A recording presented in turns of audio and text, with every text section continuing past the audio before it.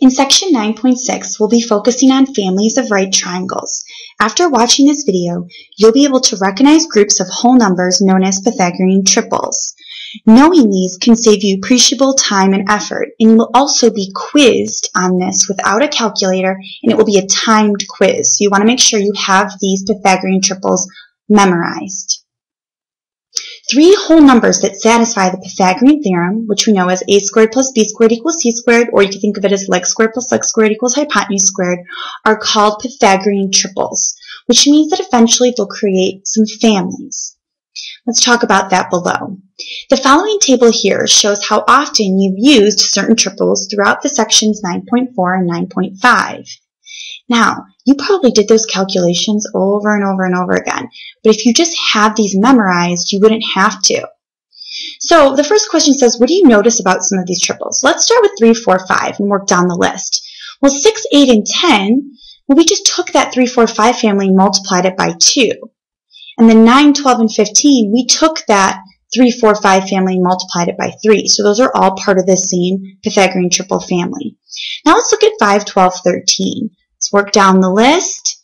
Down here, we have 15, 36, and 39, which means we took our 5, 12, 13 family and multiplied it by 3. And right here, we have 25, 16, 65, which means we multiplied it by 5. And then for the 50, 120, 130, we multiplied that family by 10. So that list there does not contain all of the triples that you have to know, but it does contain the essential ones, and we noticed that some triples are multiples of others.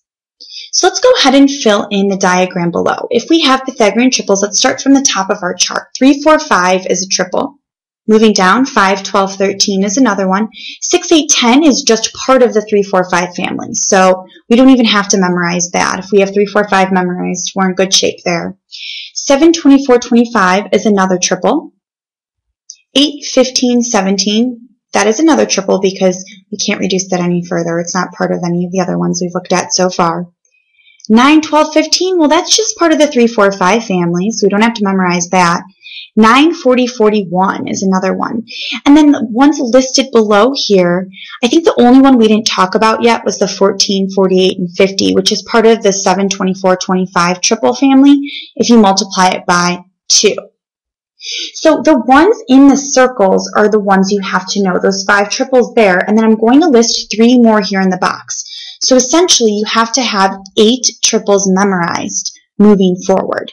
So the other triples to know are 11, 60, 61, 20, 21, 29, and 12, 35, 37. We'll pick back up with the second part of the notes in just a moment to review more example problems.